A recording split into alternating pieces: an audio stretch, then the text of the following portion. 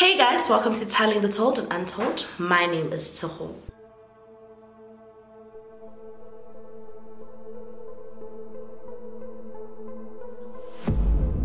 Before we go straight into today's video, I do have to give you guys a couple of content warnings.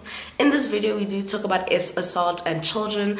I don't go into too much detail, but still, if that's not something you think you're interested in watching, then this video probably isn't for you. So maybe you can watch some of my other videos or just wait for my next upload. The killer had a signature. He would tie a cord around his victims' necks as tight as possible. And this is how he would get satisfaction and stimulus. It wasn't about the sexual assault. For him, the sexual assault was just a bonus. He would strangle them until they would lose consciousness and eventually they would die. And he would still keep going. He would keep going until the blood vessels in their eyes would pop and their tongues would turn purple. The pressure from the strangulation would sometimes cause blood to gush, to gush out of their noses and mouths, and he also had a distinguishing knot. It would be a double loop around the victim's necks, and the knot would be in the center every single time. This knot would later be known as the Mazingane knot. For 15 months in the Nasrec area, young women had been found brutally raped and strangled. Police officers had no evidence to go on and they were at a complete loss. Sometimes they would find two to three bodies in the same area on the same day. Then, on the 6th of May 1996, 16 year old Prudence Miller went missing. Every morning, she would say bye to her mother and she would cross the street to the prison that was there and she would climb a taxi and go to school. She attended Parktown Girls High School. Her mother described her as someone who was very bright and clever, and all her mother really wanted for her was to have more opportunities than she did growing up. On this specific morning, Prudence never arrived at school, and her body would later be found near the intersection of Sports and Nasrec roads. She had been brutally raped and strangled. Following Prudence's murder, there was public outcry because she was younger compared to the other victims. And because of this, police officers had more pressure to solve all the cases. And they didn't know what to do or how to solve the cases. So, this is when they decided to call in Pete Byleveld. Once Pete Byleveld came in, they handed him 10 murder dockets, and it would take them four years to finally apprehend the Nasrec killer. It was clear looking at the dockets that mistakes had been made from the very beginning. Some evidence that had been found hadn't been taken for forensic analysis, and there were just a lot of gaps in the investigation. Also, the investigating officers would tell the public everything. Every small detail that they knew, they would tell the public and left nothing to themselves. And because of this, the killer knew exactly what the police officers knew. And if there was evidence they had found when he would go on to murder someone else, he knew what mistakes not to make. And sometimes he would even change his MO just so that police officers couldn't catch him. Also, looking at the dockets, you could see that the victims had similarities. All the victims, except for one, were wearing dresses and all of them had brightly colored nail polish. They were also described as very presentable women who were well mannered and really like looked after themselves and their appearance. So basically, the perpetrator was attracted to women who wore dresses and had brightly colored nail polish. One of the victims' names was Bolina Mklangu and she disappeared on the 24th of March 1996. When they were speaking to her seven year old son, he told them that his mom got into a taxi because she was going to the city to look for a job. And this raised the question of whether or not her disappearance had to do with her mode of transport. So maybe the perpetrator was a taxi driver. One of the victim's legs and arms were twisted and tucked underneath her body, and there were pieces of clothing scattered everywhere. Her head had been bashed in, and an iron bar had been found near her body. Uh, some of the victims had scars on their bodies because the killer would cut their clothes off and some of the bodies had been found with them only wearing one shoe and the other shoe would be neatly placed next to them.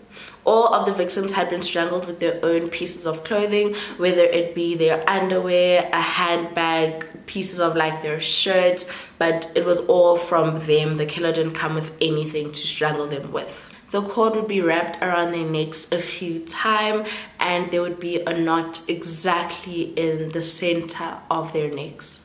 Bodies were found over a wide area, including Nasrec, Soweto, Southgate, Alexandra, and Vosloorus.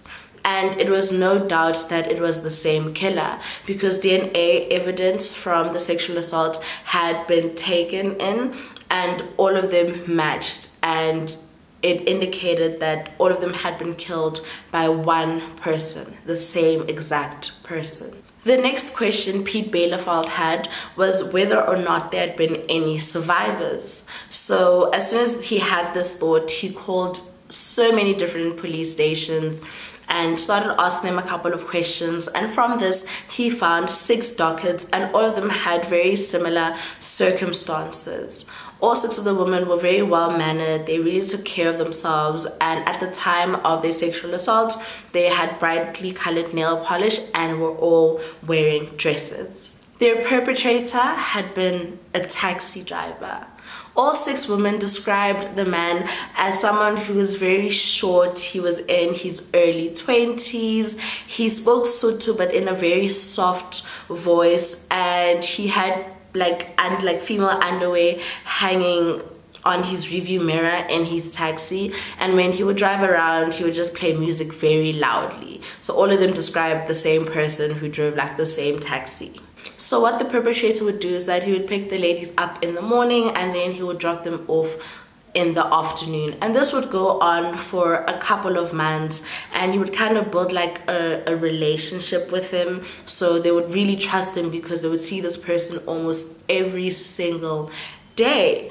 And then on one particular day he would be alone with them in the taxi and then he would drive to a secluded area like a veld and then he would force them out of his kombi and he would tell them to undress and if they refused he would pull a knife out and threaten to kill him kill them and then after this he would push them to the ground and sexually assault them whilst the Nasrec killer was operating, there was another killer on the loose. This killer had a different MO. What he would do is that he would put rocks in the middle of the road, like on the N4, and he would do this in broad daylight, but not during peak hours. So, not like in the early hours of the morning, like 7, 8 when people are going to work and school, and not in the afternoons when they were coming back but like broad daylight and cars would drive and they would drive over these rocks and because of this they would have like a punctured tire they would have to pull over and this is when someone would come out from the shadows and threaten them and they would kill them and then steal their cars like basically hijack them. In june 1996 a young married couple went to hartbeespoortdam for a calm sunday and they just wanted to enjoy themselves. And as they were driving they drove over a couple of rocks and then they had to pull over under a bridge. And this is when a young man came out of the shadows and offered to help. He then pulled out a weapon and ordered the husband to move over to the wife's seat, like the passenger side, and made the wife sit on her husband's lap. They also had a baby who was in the back seat in their car seat, and this is when the baby started crying hysterically. The perpetrator then drove into a veld and then forced the couple out of the car. He made the husband go onto his knees and forced him as he sexually assaulted his wife. The baby was still in the back seat crying hysterically. During the ordeal, the man suddenly decided to stop and let them go and threatened to kill them if they went to the police and reported the crime. Afterwards, he took the car seat out from the back, put it next to the couple, and then he drove off in their car. They also noticed that there was a man like in the shadows watching them as the perpetrator was sexually assaulting them and this also raised a question of whether or not this person had like an accomplice that they didn't know of. The perpetrator left one thing behind though, which was his semen.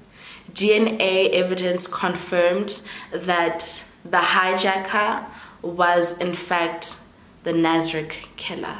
Then on the 24th of July 1997, Gert Aspling, who was 66 years old, and his wife Elsie, who was 62 years old, were driving, and this is when they drove over a couple of rocks. The rocks damaged their tires, so they had to pull over, and this is when a man appeared from the shadows again he pulled out a weapon and he was basically telling Gert to get out of the car but Gert was very reluctant. He didn't want to because he didn't trust this guy and he just thought he was safe, but he wasn't. And this is when the perpetrator pulled out a gun and shot him, and instantly Gert was killed. He then pulled Gert out of the car and just dumped his body on the side, climbed into the car and drove off and then he pulled over into a veld and then he took out a blanket laid it down on the floor and then he pulled elsie out of the car. Elsie was disabled which is why she wasn't able to jump out of the car when he was driving off. He tried to sexually assault her but she pleaded with him and he decided to leave her he then got into the car and he drove off, leaving Elsie in the middle of nowhere. After this, he pawned her wheelchair and the next day Elsie was found.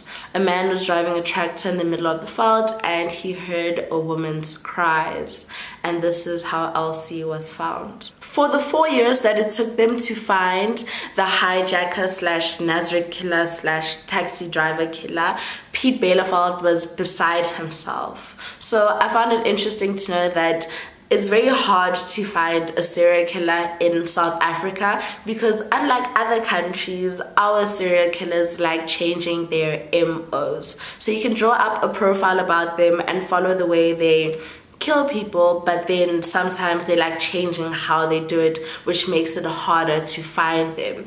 And that is what it was like with the Nasrec killer. But it was also the same with the Wemapan killer, whose case I covered, I think, last year. So I'll link it up somewhere here so you guys can watch that to see how he would also constantly change his MO. Finally, in 2000, there was a break in the case. An attorney's wife was driving and she drove over a couple of rocks. She had to pull over because her tires were damaged. And whilst she was on the phone with a friend trying to get some help, a man appeared from the shadows. He sexually assaulted her, but eventually he let her go. And immediately she went to the police to report this case. And somehow they managed to find the person who had sexually assaulted her. The perpetrator was later arrested and he pleaded guilty. He was then sentenced to 35 years for rape with aggravating circumstances. However, for some reason, Pete Byleveld wasn't notified about this particular case, even though the MO was exactly the same as the person that he was looking for. But as soon as he found out about this a couple of months later, he was so annoyed like he was so angry but immediately he drove to a laboratory like you know for DNA testing. So he could compare that person's DNA with his killer's DNA and lo and behold it was a match and this is how the taxi driver killer was finally apprehended. And his name was Lazarus Tshediso Mazingane. At the time of Lazarus' arrest, he was 27 years old. He was born in 1973. His mom, Macy, had been arrested at the time of her pregnancy for selling dagga and I think some other drugs. So, because she was arrested at the time of her pregnancy, Lazarus Lazarus was born in prison, so his first early childhood memories of are of him in prison, and because of this, he really resented his mom. Like he completely hated her, and even Macy herself, like she didn't have a good relationship with Lazarus. Like she didn't try, like she didn't have any like maternal instinct, if that makes sense. Lazarus was raised by his grandmother in Brits before attending Diepkloof High School. During high school, this is where he met a girl and her name was Nombi. And at first they were friends, but soon they started a relationship and they started dating. You know, they fell in love and eventually they got married. During their marriage, Lazarus would both physically and emotionally abuse Nombi. Sometimes he would bring women back home and he would tie Nombi up to the bed and then force her to watch him have sex with other women. During one of his episodes, he shot at her, and this is when she decided to flee back to her parents' house and she filed a report against him after this lazarus lazarus was so upset he was so angry with her that he kidnapped her and he brutally assaulted her throughout this period. And eventually he decided to take her back home. So he drove her in he drove her home in his kombi. He then opened the door and i think her dad was standing outside or her mom and then he just threw her body out and he started like swearing at them telling them to take back their child and then he started shooting at Nombi's parents, but fortunately no one was injured or hurt. Her parents tried to convince her to report him again, but she was so terrified because he kidnapped her the last time that she reported him that she just decided to leave it. After Pete found out who Lazarus was, he went to go see him in prison and then he decided to transfer him to the murder and robbery unit in Brixton. And whilst they were in the car, Lazarus, Lazarus was very confused and he kept asking like where they were going and why they were going to like the murder unit because he had pleaded guilty. But Pete just decided to, you know, just keep to himself. He didn't want to say anything. He just wanted to see how Lazarus would react and just give him a couple of days before officially interviewing him. So he left Lazarus in prison and then he went home and Lazarus kept trying to see Pete. So they would constantly call him and be like, okay, he wants to speak to you. And Pete would just say, no, it's fine. After a couple of days, around like 2 in the morning, Pete Byleveld received a phone call from the officers in the prison and Lazarus had defecated in his food and started throwing it at them. And this is when he decided to get into his car and drive to go see Lazarus. For months, Pete would ask Lazarus a few questions, just trying to get to know him and get him to open up about his life and his upbringing. And then on the 9th of June 2000, Pete took Lazarus to see his seven year old daughter for the last time outside of prison, as well as the daughter's mother. After this, Pete started putting a lot of pressure on Lazarus to confess to the different murders, but Lazarus, Lazarus didn't want to and this is when Pete just started asking questions about like women in dresses and you know the colored nail polish. And this is when Lazarus confessed to sexually assaulting them but not to murdering them. Like he didn't want to confess to that. After this Pete decided to ask him about Prudence Miller the 16 year old girl that he had killed in 1996 so four years prior to this and Pete just started asking questions like, oh, like, did she find her attractive? Like, what did she do to her? And Lazarus was so excited to be talking about Prudence that he kind of slipped up and confessed to murdering her. And then he told Pete that he would see Prudence's mother on TV just pleading with the public for like her return or any information. And after seeing her on TV, Lazarus called Prudence's mother up and said that he had information and wanted them to meet somewhere in Nasrec and he said the reason why he called Prudence's mother was because he felt so sorry for her that he called her so that maybe she'd bring police officers and they would find Prudence's body quicker. After Lazarus confessed to raping and murdering Prudence, he started confessing to all the other murders as well. And then he told Pete Byleveld that sometime in the early 1990s, he had a taste for little girls and he couldn't control himself. So he was in Orange Farm and he sexually assaulted and killed four little girls. As usual, Pete tried to confirm this, and there were dockets on these four cases, but there was no hardcore evidence to convict him of these four murders of these children. And even though he had confessed, they needed more so it could be an airtight case. So they ended up not going forward with those cases. But Pete did call the parents of those girls to let them know. Well, he couldn't tell them, but like just to let them know that he's probably in prison and he hoped that they could find comfort in knowing that he wouldn't be able to kill other little girls again. Lazarus had a perfect checklist for his victim. So he said he liked them young, well bred, in a neat dress, preferably a working woman, no prostitutes, he was above them, someone who was submissive, people that were aggressive irritated him. So that was a no-go. Women that had brightly colored nail polish and also women who wore high-heeled shoes. In one instance a nurse's smart blue shoes led to her death. So Lazarus would pick her up in a taxi and drop her off at the hospital that she worked in in Morningside. So he would pick her up in the mornings and drop her off. And this happened for a couple of months and eventually Lazarus asked his taxi boss if he could start working on Sundays so that he could pick up this nurse from home, drop her off at church, and then take her home. Until eventually he decided that he couldn't control himself, and this is when he eventually raped and murdered her. She would even tell her parents that there was this nice taxi driver who would like drop her off at work, pick her up, and even take her to church on Sundays. And she thought it was so sweet, but little did she know that all along he was just plotting her death. So remember the couple that had been hijacked and they saw an onlooker? Well, it turns out that Lazarus did have an accomplice and his name was Kaiser Mutsihwa.